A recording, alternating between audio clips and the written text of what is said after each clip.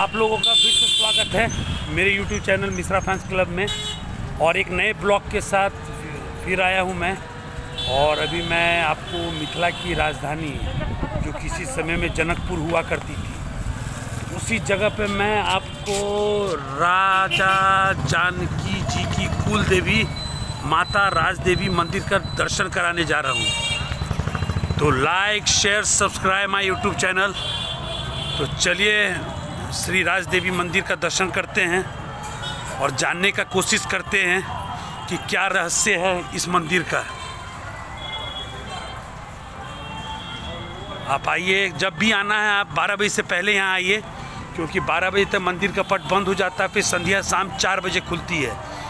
तो यहाँ आने के लिए सबसे अच्छा साधन है कि आप मधुबनी से चिटई तक आएँ और वहाँ से फिर आप बॉर्डर पार करके जनकपुर के लिए बस पकड़ सकते हैं। बस का भाड़ा मात्र आपको तीस रुपये पड़ेगा इंडियन और नेपाली आपको पचास रुपये पड़ेगा। तो आइए चलते हैं, श्री राज देवी मंदिर का दर्शन करते हैं। और राजा जनक की की ये कुल देवी श्री राज देवी जी थी, जैसा मेरे को मालूम चला। और ये इसी के पीछे में श्री राम मंदिर है। तो वहाँ का भी दर्शन कराते हैं। ये देखिए राजदेवी मंदिर, जो राजा जनक जी की कुल देवी थी।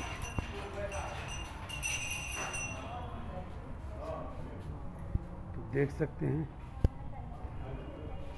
तो चलिए, दर्शन करते हैं। अभी आपको मेरे एक वीडियो बाद में मिलेगा, क्योंकि मैंने मतलब मुझे मालूम चला कि 12 बजे पट बंद होने वाला है।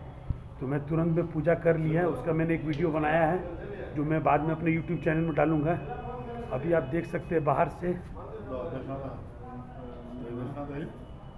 बाबा क्या राज है? ये राजदेवी मंदिर का बाबा? ये राजदेवी मंदिर है जो राजा जनक की कुल देवी है राज जी। इष्ट देवता राजा जनक। की जी जी। अब राजा जनक जी जिस समय में अपना जमाई को सबको हुए तो उनका रामे जी द्वारा इनका पूजा होता है। अच्छा। ये कुल देवी है उनका। तो ये है रहस्य। राजा जनक जी की कुल देवी हैं, माता राज देवी और आप लोग से निवेदन है कि आप लोग आइए, आप लोग आइए और दर्शन कीजिए राजदेवी मंदिर का, जनकपुर में। इससे पहले आपको मेरे यूट्यूब चैनल में आपको पशुपतिनाथ का भी वीडियो मिलेगा। तो like share and subscribe my YouTube channel Mishra fans club